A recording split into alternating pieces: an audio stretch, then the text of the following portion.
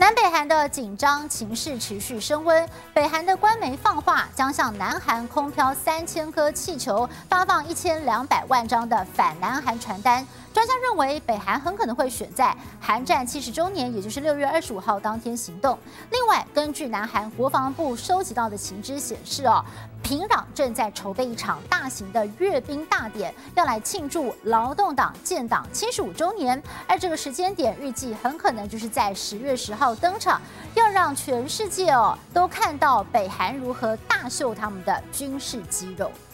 北韩十六号大动作炸毁了开城的两韩联络办公室。代表北韩政权以金与正为首的强硬派当道，掌控了未来对南韩的态度，将会以秀肌肉取代双边和谈。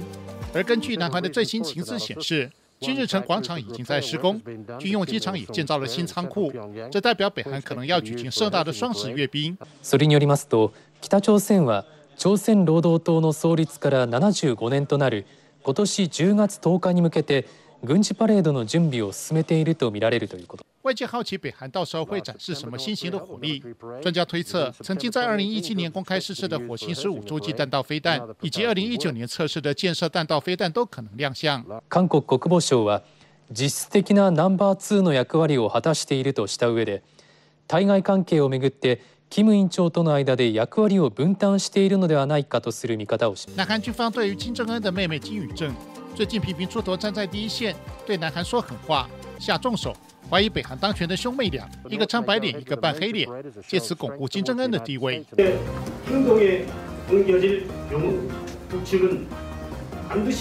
北韩对南韩文攻武赫，即将举行盛大阅兵，又要控票一千两百万张反南韩的传单，在边界装设扩音广播喇叭，完全的掌握发球权。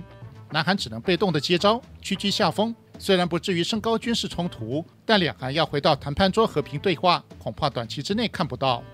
正品、便宜。